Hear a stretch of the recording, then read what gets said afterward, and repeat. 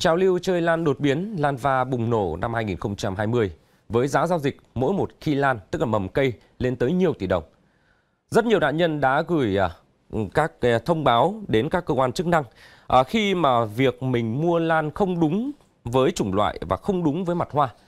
Và mới đây thì Tòa án Nhân dân tỉnh Hòa Bình đã vừa tuyên án 7 năm tù đối với bị cáo Tạ Thị Suối Vân về hành vi lừa đảo bán hoa phong lan đột biến chiếm đoạt gần 2 tỷ đồng.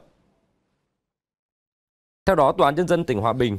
vừa mở phiên tòa hình sự sơ thẩm xét xử bị cáo Tạ Thị Suối Vân, sinh năm 1992, trú tại xã Bảo Hiệu, huyện Yên Thủy về tội lừa đảo chiếm đoạt tài sản. Do ham lợi, Tạ Thị Suối Vân đã đi mua các loại cây hoa phong lan thường với giá trị thấp của các nhà vườn, mang về nhà quay video chụp ảnh các cây hoa phong lan này và quảng cáo là các loại hoa phong lan đột biến đang gây sốt như năm cánh trắng phú thọ, hiển oanh, bạch tuyết hay hồng yên thủy.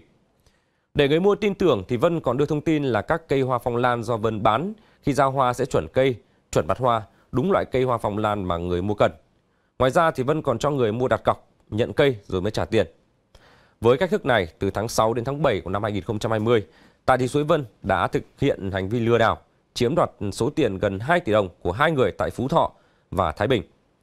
Với hành vi phạm tội nêu trên, Tòa án Nhân dân tỉnh Hòa Bình đã tuyên phạt Tạ Thị Suối Vân mức án 7 năm tù về tội lừa đảo chiếm đoạt tài sản.